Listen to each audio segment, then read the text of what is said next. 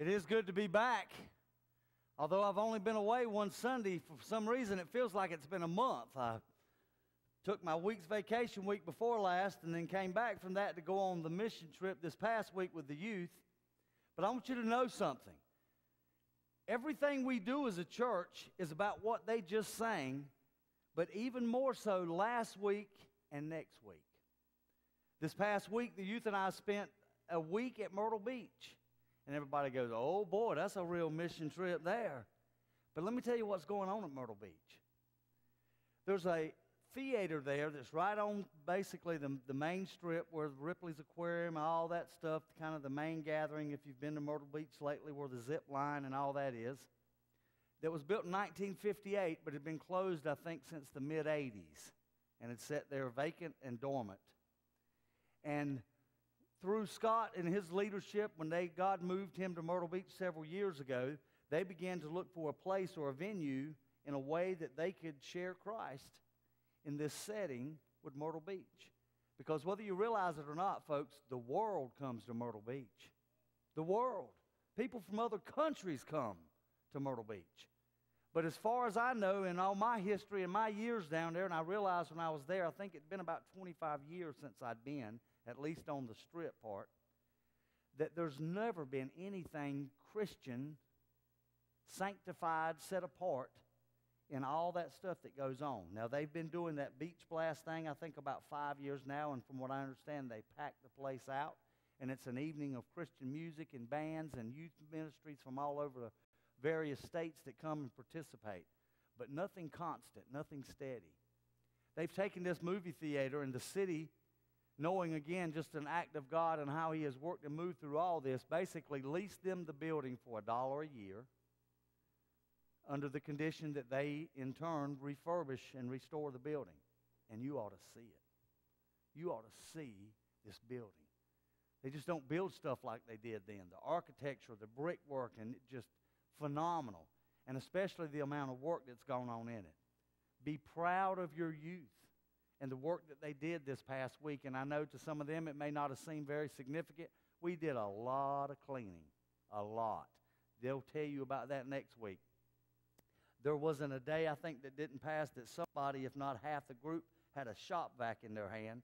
And for an 18,000 square foot building, I think we vacuumed it through at least three different times. But construction is a messy thing, but every step is just as important as the next, and they're about this close to finishing.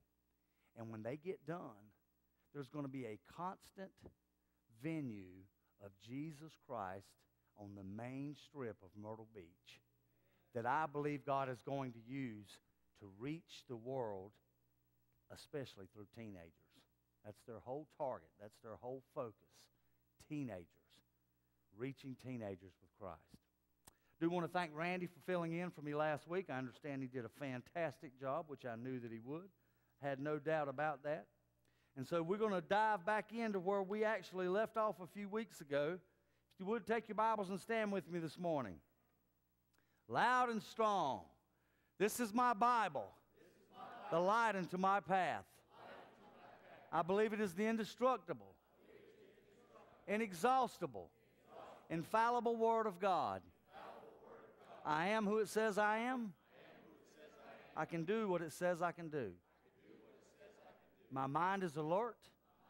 My ears are open. And my heart is receptive to receive God's word. Today I will be forever changed. I will never be the same. In Jesus' name. Amen.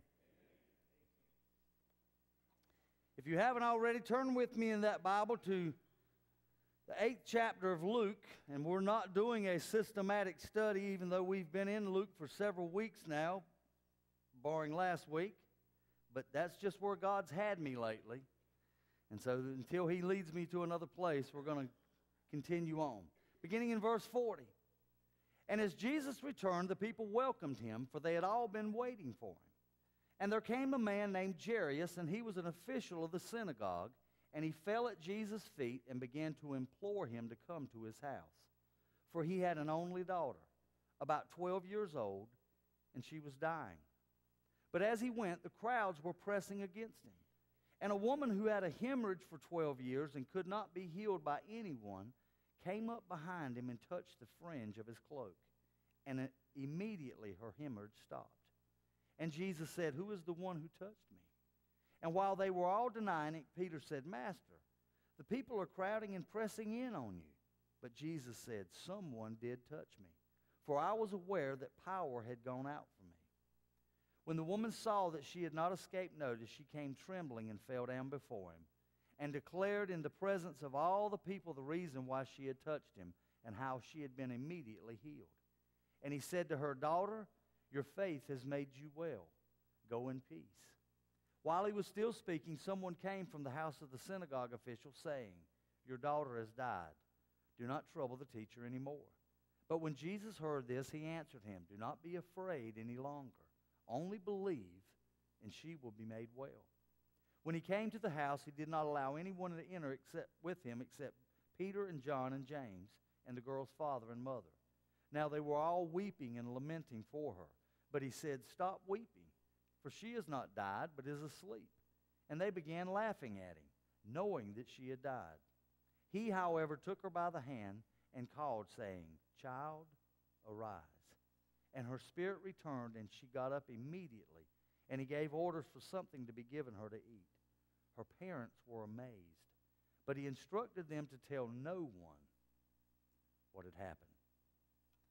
Father, as we look into your word today, Lord, we're going to look at a man and a woman's life who, though they were on different spectrums of life, on this particular day, they shared something very life changing in common.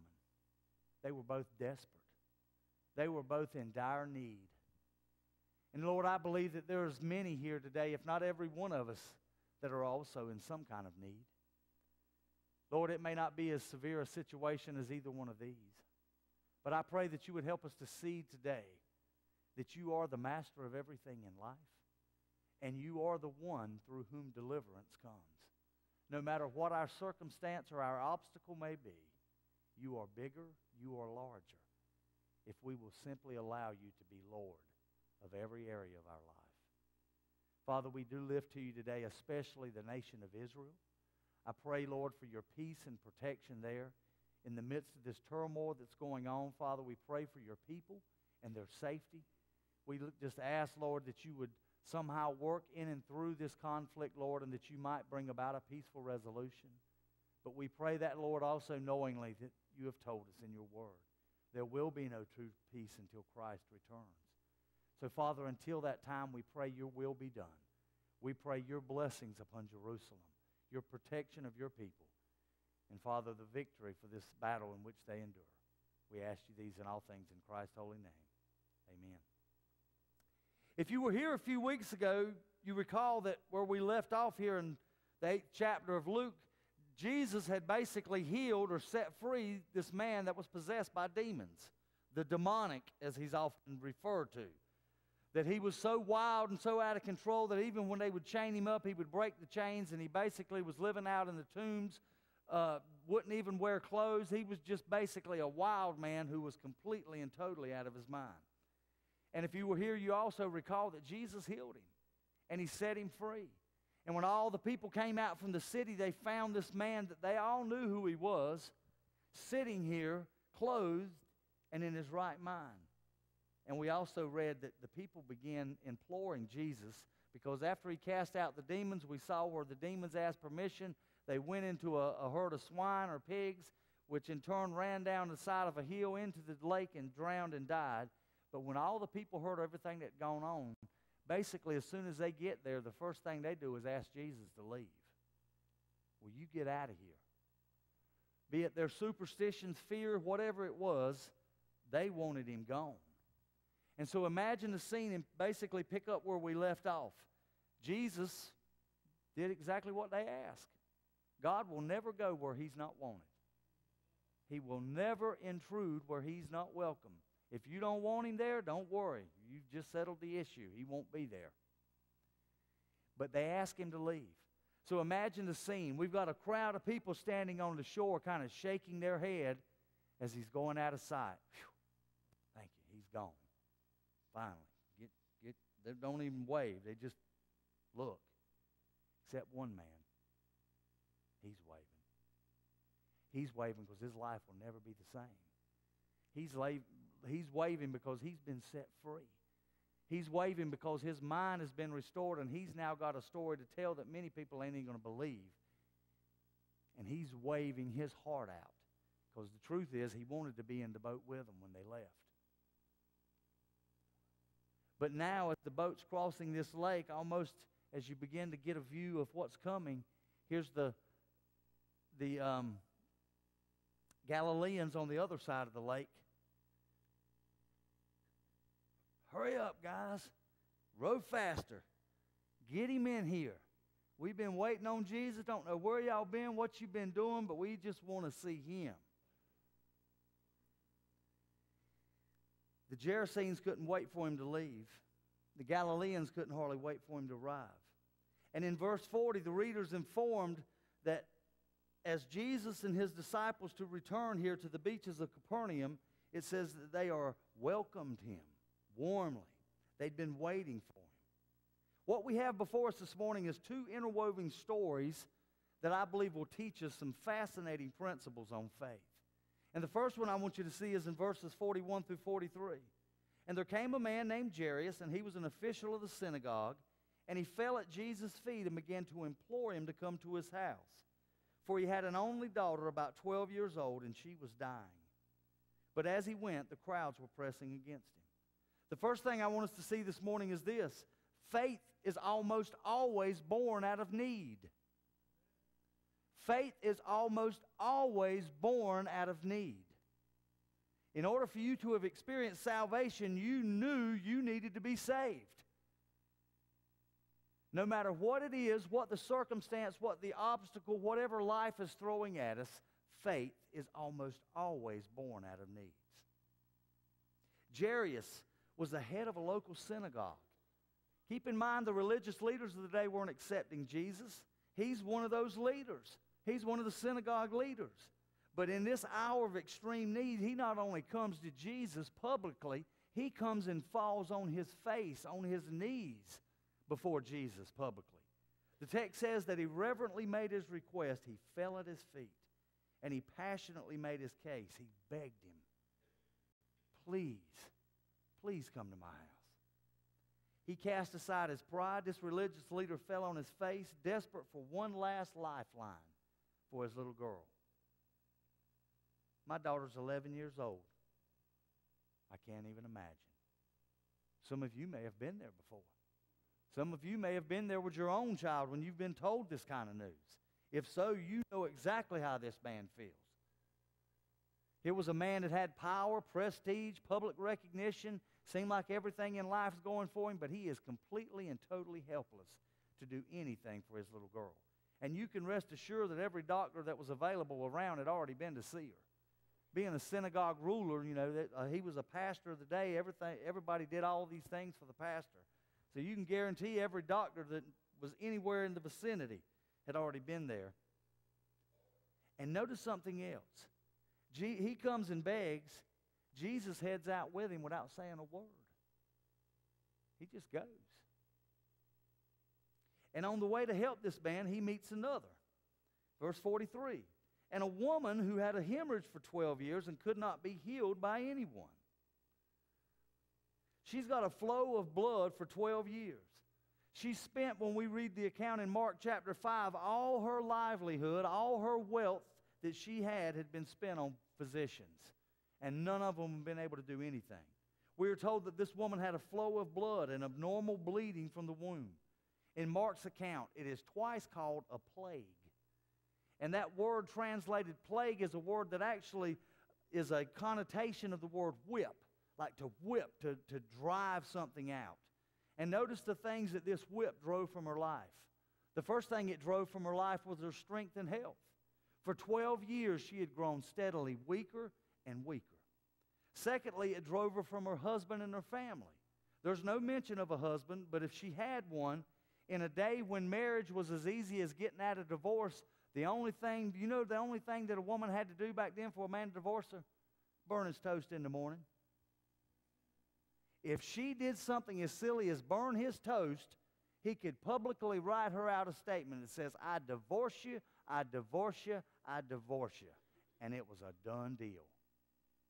They didn't have to go to the judge, they didn't have to see a lawyer, they didn't have to. It was over.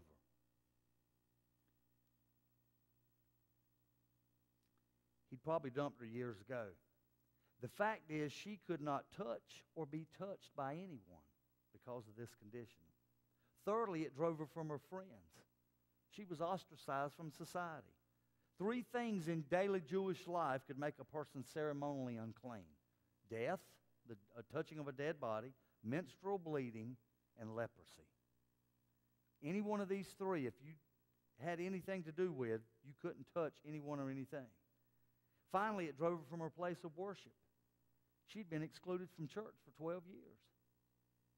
She couldn't even go to church on Sunday. In verse 43, Dr. Luke says that she was humanly incurable. And now, a woman having a flow of blood for 12 years who had spent all her livelihood on physicians and couldn't be healed by any, in spite of all her previous effort, she remained unhealed. She still suffered pain. All the different treatments she had succeed, or tried had only succeeded in making her poor. The verse says she spent all her livelihood on physicians. She'd gone to many doctors, and the only thing the doctors had cured her of was her bank account. Individual after individual had raised her hopes, only to dash them to the ground when they failed to help her. Mark 5 also tells us she suffered many things from many physicians, searching for an accurate diagnosis. 12 years. Can you imagine? Without a remedy for a problem? And presumably by now she's decided there, there is no hope for my problem. In fact, she was worse off and better. This poor woman was broke, cut off from family, society, and could not have felt any lower. I'm sure she had to deal with some bitterness. There was probably some anger inside. Who knows? She may have been angry at God. Why? Why would you let me suffer like this for 12 years? Why can't I be cured? Why is there no help? Loneliness, fear of the future, alienation for God. Now, I want you to notice something here that these two share in common, yet were completely and totally different. How old was Jairus' daughter? 12 years. How long had this woman been suffering? 12 years. They lived right here in the same vicinity, very likely in walking distance from each other. For the last 12 years, Jairus' life had probably been great and getting greater every year. His daughter was getting older. He loved her and cherished her. He was a leader in the local church. Everything good was happening, everything great was going on. And every one of those 12 years, this other woman's life was getting worse and worse year by year. But on this particular day, in this place we call desperation, there's a lot of common ground. You discover a lot of that common ground at the hospital. If you're up there with somebody sick and you meet another family that's got somebody in same con- kind of conditions, at that point it don't matter who you are, what your name is, how much money you got, where you live, or nothing else. You're both hanging on to the hopes of what they can hopefully do inside that medical facility. That's where these two were today. Totally different spectrums of life. She had lost everything. Jairus had everything, but he was on the verge of losing it all. Because I'm sure, even with his successful life, if he would have lost that daughter, many people who have gone through that says it feels like a part of them dies. And I guess in some reality it does. Faith is always born out of need. Second, faith always demands a response. Look at verse 44. Came up behind him and touched the fringe of his cloak, and he immediately her hemorrhage stopped.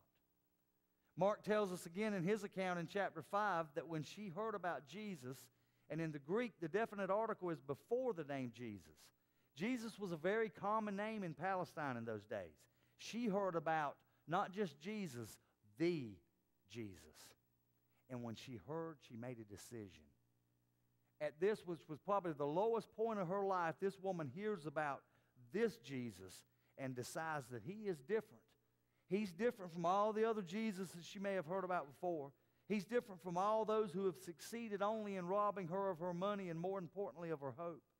The Bible says that faith comes by hearing. So faith comes by hearing, and hearing by the Word of God. Romans 10 17. True faith demands a response. It's never enough for us just to hear the Word, we must also believe and do it. If you leave out of here on a Wednesday night or a Sunday school and say, man, that was a great lesson, that was just awesome, we had great discussion, whatever it may have been, but you walk out of here and it has no effect on the way you live your life, that's not faith. It's just knowledge. Faith demands a reaction. And usually it demands that we do something differently than what we have been. It's not enough to hear the word. Listen, she not only heard about Jesus, she believed what she heard. She had decided in her mind that if she could just get near him and touch him, she'd be healed. Matthew 9:21 says, "For she said to herself, if only I may touch the hem of his garment, I shall be well." Literally what it's saying is she kept on saying it. If I can just touch him, if I can just get near him and touch him, I know if I can get near him and touch him, I, I know that's all I need to do get near him and touch him.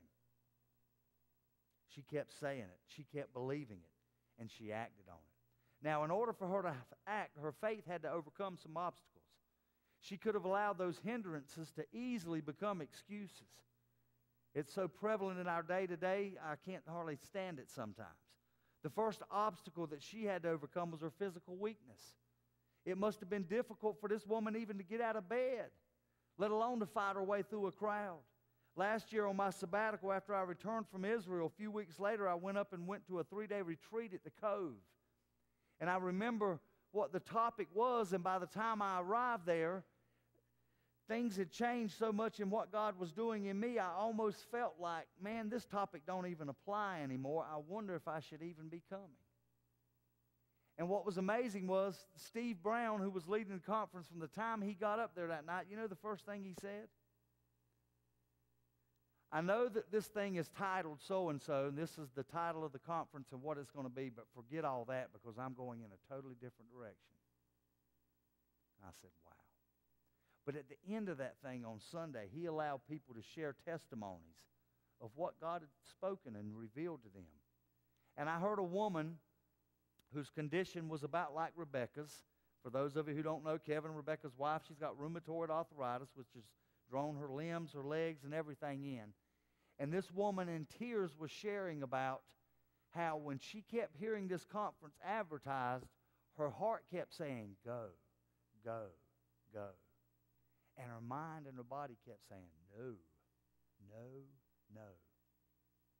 And as she talked about the struggle that it was for her just to get up and get out of bed and get ready every day, I wish you could have heard her testimony and said, You don't know how blessed I am because I want y'all to know in here this day that God has healed me this weekend.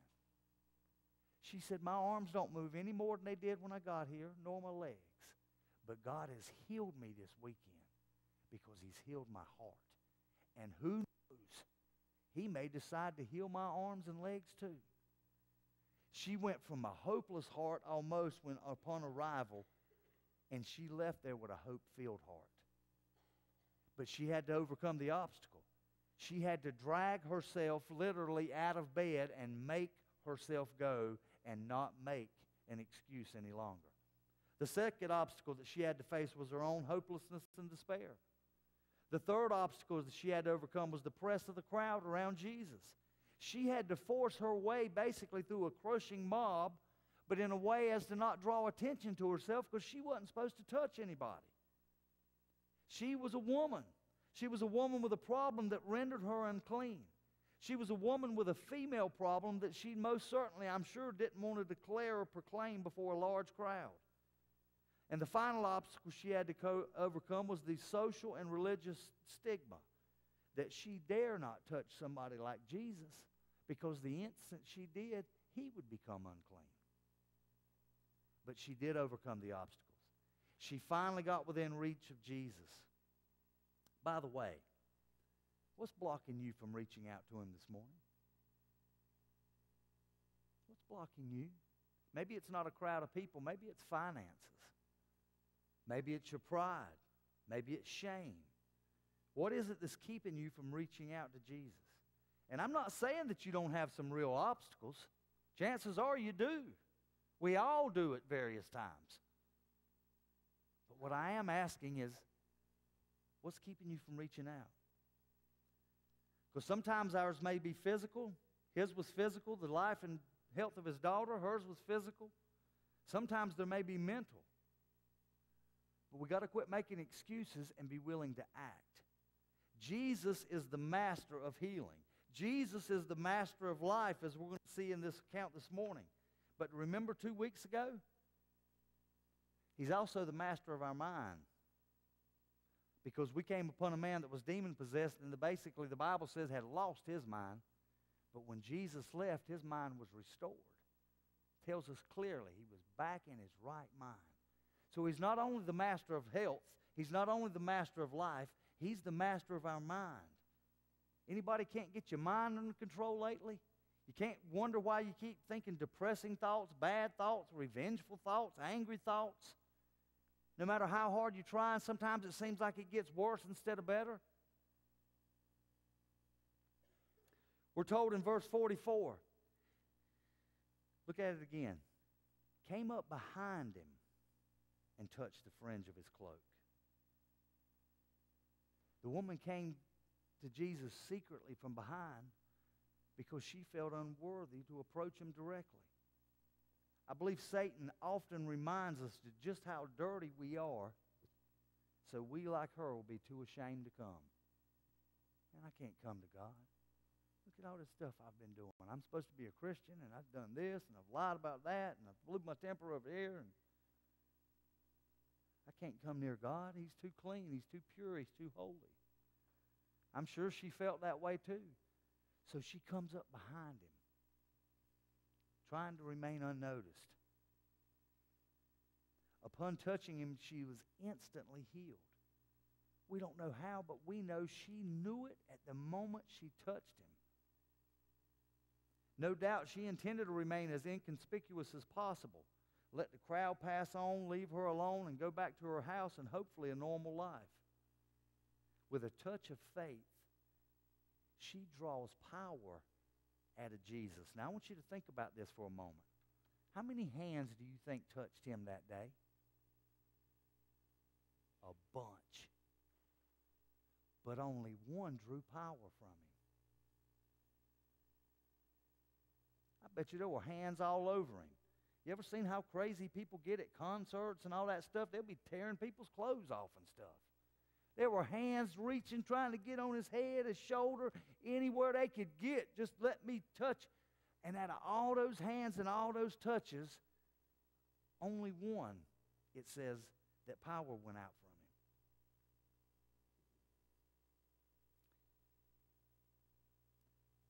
from him. In one touch, she received healing. All the rest of them weren't receiving anything.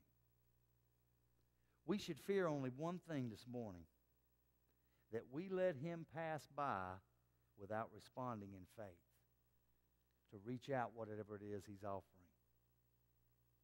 Our faith is born out of need. Faith demands a response. Faith cannot remain anonymous. Look at verses 45 through 47. And Jesus said, Who is the one who touched me? And while they were all denying it, Peter said, Master, the people are crowding and pressing in on you.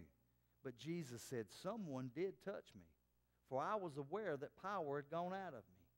When the woman saw that she had not escaped notice, she came trembling and fell down before him and declared in the presence of all the people the reason why she had touched him and how she had been immediately healed. Faith cannot remain anonymous. Is it really possible that Jesus didn't know who touched him? Of course not. He knew exactly who had touched him. He knew what had happened and who had touched him. He asked the question to bring the woman out of hiding. Now, initially, notice that nobody admitted they touched him, but Jesus wouldn't let it drop. In verse, verse 46, Jesus said, Somebody touched me. Don't tell me they didn't. I know they did. The word gnosko used here literally means knows. She knew it, and she knew he knew it. Peter replies to Jesus with something like this Lord, you, you got to be kidding me. Look at this mob. How can we possibly know who touched you? In my imagination, I can almost see Peter as he rolls his eyes. Lord, it'd probably be easier if you said, Who didn't touch you? It seems an impossible question, but perhaps more importantly, it seemed to be a pointless question. What difference does it make? And not let's forget something here. Let's not forget something else and someone else. Remember where Jesus is going? To Jairus' house. His 12 year old girl's about to die. And now he's going to take time out to go, okay, who touched me? I know it was somebody here. Who touched me? Can you imagine what Jairus is thinking? He's probably exasperated beyond words. Precious times being lost. His little daughter's slipping away by the minute. He must have been thinking, Come on, Jesus, my daughter's dying. Who cared who touched you? As Jesus dealt with a problem that in Jairus' eyes was not an emergency, I'm sure he had to question Jesus' timing. And in the same way, you and I often, uh, often struggle to understand God's timing. Ultimately, we have to learn that faith means trusting in God's care, and it also means accepting God's timing. In Mark 5:32, we're told that Jesus looked around to see the woman who had done this. It literally means that he was penetrating. He turned around and started doing this. Who did it? Who touched me? He was looking into every one of them's eyes. He stops, turns around, scans the crowd. This woman's trying to hide, but he won't let her. Why? Because he knows how much she needs him. Listen, she's already been healed. She's already experienced the touch of God's power in her body. He, she's already been healed. But she still needs him, not just his healing power, and he knows it. This woman had not expected to be detected, but when Jesus turned around and asked the question, she knew that he knew. And if she had taken a great leap of faith before, which she had, I'm sure she's ready to take a great leap of escape about right now. Remember, the penalty for deliberately making somebody unclean during that time was stoning. If you were leprous, had touched a dead body, or were in the menstrual period as a woman and touched somebody else and made them unclean, you could be stoned. Perhaps she thought she'd done wrong in touching him.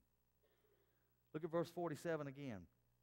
When the woman saw that she had not escaped notice, she came trembling and fell down before him and declared in the presence of all the people the reason why she had touched him and how she had been immediately healed. She told it all. She didn't care any longer. What had been a 12 year embarrassing thing that she may have hardly ever even told anyone, now she tells everyone. You know why she was able to do that? Because when the son sets you free, you are free indeed. And you're free to tell the truth, and you don't care who likes it and who don't. Because if you know Jesus has done it, it is what it is.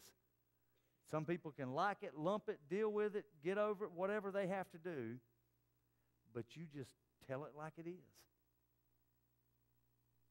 She came forward trembling, fell at his feet, and confessed she was the one who had touched him. This woman had received a whole lot more than she expected, but much less than what Jesus desired to give her. Why did he insist on her public profession? It wasn't a miracle he wanted to make public but rather her faith. He demanded it for the benefit of others. Remember, all these people were reaching out and touching, but the power had only gone out to her. Faith is not intended to be a private matter as some people think it is. How often have you heard somebody decline to discuss their spiritual condition, justifying themselves with the statement, well, my faith is a personal thing? Faith in Christ is never intended to be personal. The reason God saved you is so that you will tell the world. And anytime you have a discussion, family member, friend, or stranger, and begin to talk to them about their personal faith, if they get angry or offended or upset, it's a red flag indicator there's a problem there. There's a problem. Because when Christ sets you free and you know that you know Him and you know that you're His and you know where you're going when this life is over, you want everyone to know. It's not a secret. This was so important that Jesus refused to allow her to go without a confession of faith. Do you know He still requires that same confession today? Elsewhere, Jesus said in Matthew 10 32, Whoever therefore shall confess me before men, him I will confess also before my Father who is in heaven. Paul says as well, For with the heart man believeth unto righteousness, and with the mouth confession is made unto salvation. Faith cannot remain anonymous, and faith revealed is faith rewarded. Look at verse 48. And he said to her, Daughter, your faith has made you well. Go in peace. Jesus was incredibly gentle with this woman. Do you know this was the only woman he ever referred to as daughter? Jesus rewarded her confession by telling her, Go in peace. And the literal meaning of this phrase is go into peace. Paul says in his letter to the Romans in 5 1, Therefore, being justified by faith, we have peace with God through our Lord Jesus Christ. Now, I know you hadn't asked for my opinion this morning, but I'm going to give it to you anyway.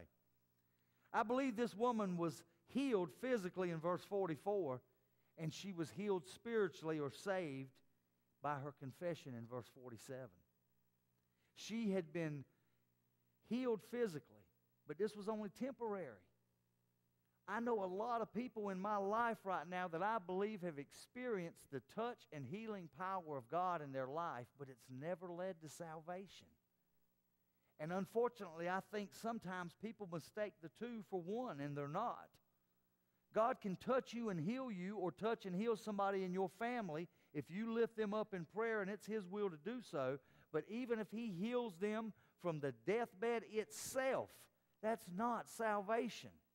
That's the power of God at work in their life and in their body, but it's not salvation. Salvation is a confession that only each individual can make. Her body would break down again someday. Her body was eventually going to die someday. In faith, she touched the hem of his gown and was healed. Healed physically by this touch of faith, and I believe saved spiritually when she stepped forward in confession. Faith revealed is faith rewarded. And faith holds on when reason says give up. Let's look at the last several verses. While he was still speaking, someone came from the house of the synagogue official saying, Your daughter has died. Do not trouble the teacher anymore. But when Jesus heard this, he answered him, Do not be afraid any longer. Only believe, and she will be made well. When he came to the house, he did not allow anyone to enter with him except Peter and John and James and the girl's father and mother. Now they were all weeping and lamenting for her, but he said, Stop weeping, for she has not died, but is asleep. And they began laughing at him, knowing that she had died. He, however, took her by the hand and called, saying, Child, arise. And her spirit returned. And she got up immediately, and he gave orders for something to be given her to eat. Her parents were amazed, but he instructed them to tell no one what had happened. Faith holds on when reason says give up. All the reason in the world would have told Jairus, it's too late now. He was coming. He was going to touch her. He was going to heal her. But it's too late now. She's died. She's taking her last breath. It's over if he wouldn't have got delayed with this woman and so worried about who it was that touched him, maybe he'd have been there on time. Maybe he could have got there a few minutes early. Maybe he could have saved her. You'll also remember that the healing of this woman occurred as Jesus made his way to the home of Jairus, whose daughter is deathly ill. Our final principle of faith is seen in the life of Jairus. Previously, we read in verse 41 of his request for Jesus to come and how Jesus began his journey with Jairus to his home. And as we pick up the story in verse 49, we see that things have taken a decided turn for the worst.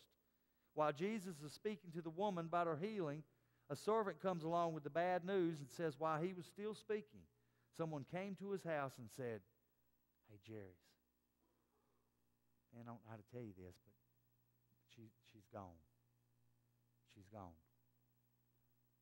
Don't bother the teacher anymore. There's nothing he can do now. The delay necessary for the healing woman, I'm sure in Jairus' mind, brought disastrous results. If he hadn't just stopped. So long as she was only at the point of death, there was hope, but not now. It's one thing to believe in a healing, it's quite another to believe in a resurrection. But it now appeared that the healing of this woman has cost the life of Jairus' daughter. What pain and disappointment, even anger, must have flooded his soul. But Jesus quickly reassures him in verse 50 Do not be afraid. Only believe, and she'll be made well.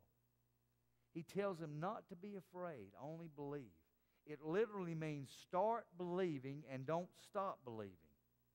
It's where fear is to be met by faith. Why would Jesus tell him, don't be afraid? You know what Jairus had probably been doing the whole time that thing was going on with the woman?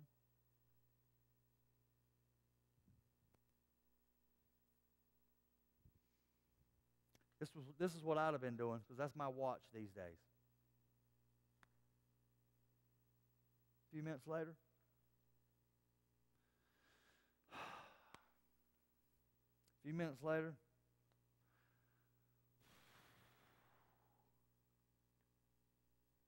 Jesus says, listen, don't be afraid. Faith is not the belief that we'll get what we want. Faith is the belief that God knows what's best. In verse 51, we're told that Jesus asked only the mother and father and three of his disciples, Peter, James, and John, to go into the room. Was he showing favoritism? I don't think so. I believe he asked those who knew would be open and affirming probing question for you and I today is this. If we'd have been one of his disciples, you think he would have asked you to go? Would you have been one of the three? Because he knew your heart was so open and you had that kind of faith. He rebuked the mourners in verse 52 by telling them not to weep. She's not dead, but sleeping. These mourners were likely paid professionals. That's what they had in those days. If you didn't have enough family to cry and moan and moan, you could go out and actually hire people to come in that were professional mourners. And they'd come in and cry for your loss. We know that's what they must have been because notice basically they go from tears to laughter. As soon as Jesus tells them that she's not dead, they start laughing at him. But he cleared the room of all the skeptics. He put them outside. Now he turns his attention to the girl in the second part of verse 54. He took her by the hand saying, Little girl, arise. Then her spirit returned, and the Bible says she rose immediately. And he commanded that she be given something to eat. Why did he do so? He raised her to life. In Mark's account, we're told that Jesus said, Talitha cumi. It was an unforgettable moment, so much so for Peter, he remembers the very words of Jesus. Mark doesn't even put it in the Greek, he leaves it in the Aramaic. And the very words of Jesus basically said, Little lamb, get up. The same phrase a mother might use to get her daughter up in the morning. Wake up, little darling. Get up, little princess, until they get up. But he raised her from the dead. The critics would say the girl was not really dead, but she was just really that she had lapsed into a coma, and about the time Jesus arrived, she was coming out of it. But remember the family who saw all the time knew death? They knew she'd stopped breathing. They declared her dead. The mourners who ridiculed Jesus' statement, they knew what death looked like. They were paid to be around it. They knew death when they saw it. And the Lord knew she was physically dead because notice it says her spirit returned to her. It had been gone. Why did he do this? Was it for the little girl's sake? No. Was it for her parents' sake? Yeah. Did he do it so that we might expect the same thing today? No. In verse 56, Jesus tells the astonished parents, Don't tell anyone what happened. Can you imagine the surprise on the faces of the mourners when that little girl come walking out of the room and said, Somebody give me something to eat? This family must have been Baptist because the first thing in the order of business was from resurrection was for food. But think of the frustration of those onlookers when they said, Tell us what happened. What did he do? What went on in there? And they said, I'm sorry. But Jesus told us very emphatically not to tell you. Now, it may be that you say, all this talk about faith is fine. It's wonderful how he healed the woman, and it's wonderful how he raised the little girl back to life. But he didn't do that for me. I'm still sick, and he hadn't healed me. Or my loved one died, and they are gone, and even though I wanted him to heal them or I want them back, why didn't he do that for me? Why doesn't he respond that way today?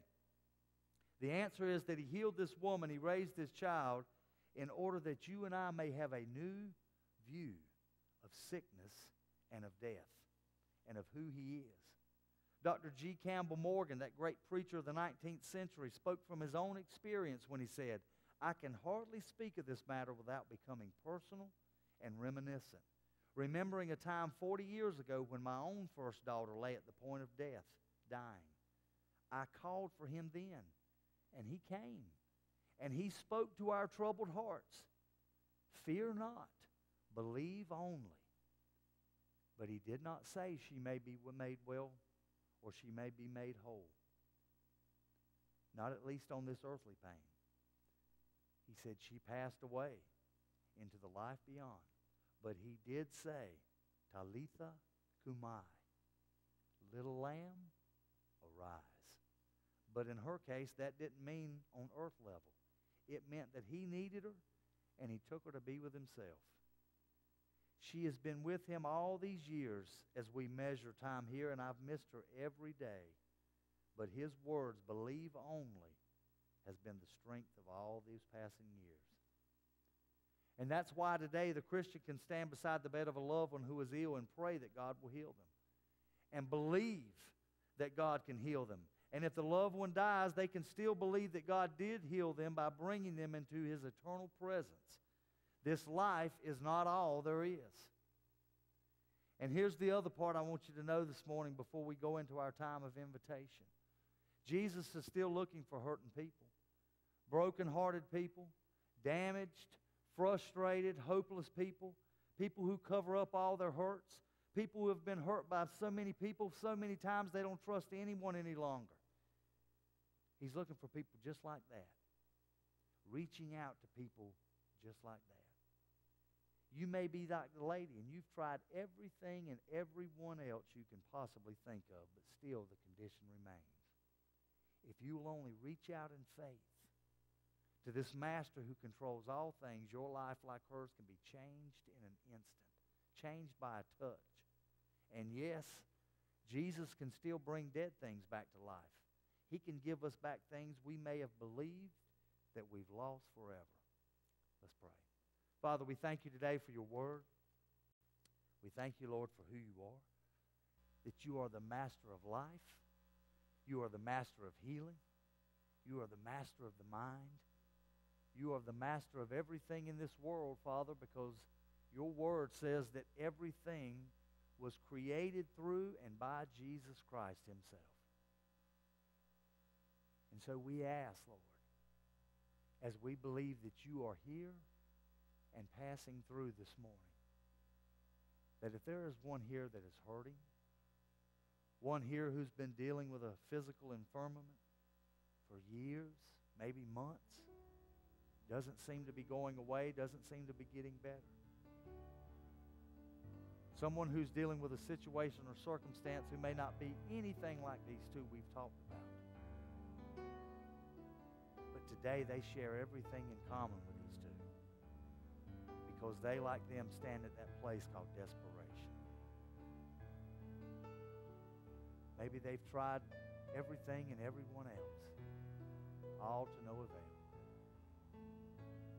So, Lord, we ask you today if it is needed, increase our faith that we, like Jairus, would not worry about position or prestige or anything else, but fall on our face before Jesus and beg Him to do what only He can do.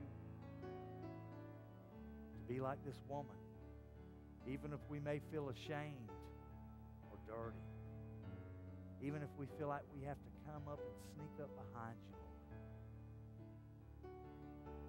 knowing if we can just touch Him, then everything can be changed. Increase our faith, Father, that we may be the people you have called us to be, that we may come to Christ with every circumstance, every obstacle, everything we face in this life. We ask you these and all things in His holy name. Would you stand with?